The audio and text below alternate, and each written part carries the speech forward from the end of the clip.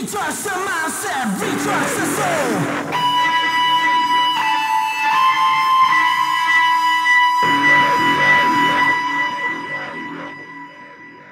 Retrust the mindset, take back control.